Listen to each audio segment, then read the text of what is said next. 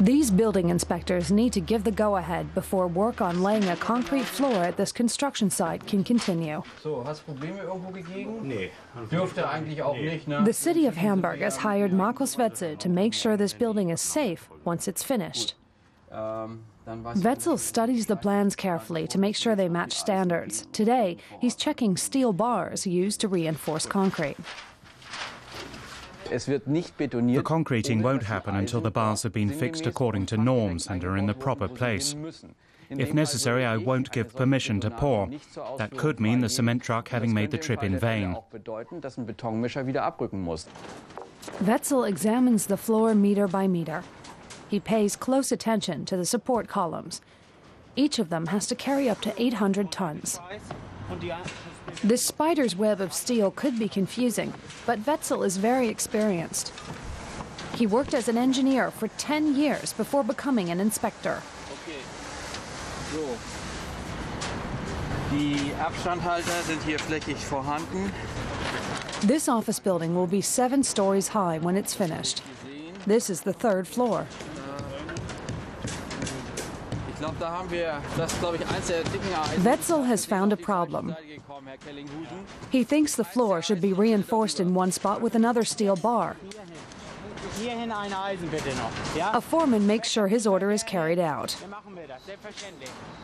Wer ist für die Tragfähigkeit zuständig? The building inspector costs from 80 to 100 euros an hour and is paid by the building owner. You get the impression that the construction workers know what they're doing and work well together. Steel fixers have suffered from negative press since tunnel walls collapsed during construction work on the Cologne subway train network. Workers were strongly suspected of having stolen large quantities of reinforcing bars instead of working them into the walls. The city of Cologne had chosen not to employ an independent inspector.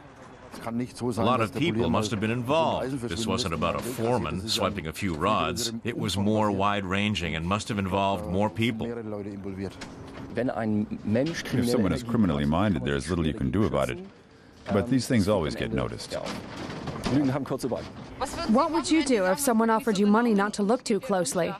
Ja, da würde ich, äh, das würde ich überhaupt I wouldn't want to hear it. Das- da- auch da- das- da I'd leave the building site straight away and report it. Verlassen. Und dann wird's It would be the end of me. Imagine if people Das wäre ja started talking about me pocketing some money here and there. mal vor, dass I'd be finished. There's no question of me doing that. entgegennehmen würde. Dann kann ich nicht einpacken. Das kommt überhaupt nicht in Frage. It's time to start pouring the concrete. First of all, a sample is taken to be sent to independent inspectors. There, it's allowed to dry for four weeks before being exposed to stress. The builders carry out their own tests. Sechs, sieben, acht, neun, zehn. The last thing they want to do is rip the floor up again in a month. It's happened before, and it's hugely expensive. The test results are later sent to Markus Wetzel.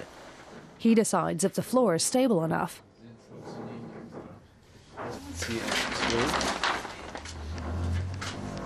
He's happy with the rod fixing work and signs off on it. Work at the site can continue. 155 tons of concrete are poured on this day, and there'll be much more to follow by the summer. Before the work is complete, the building inspector will have been and gone a few times as well.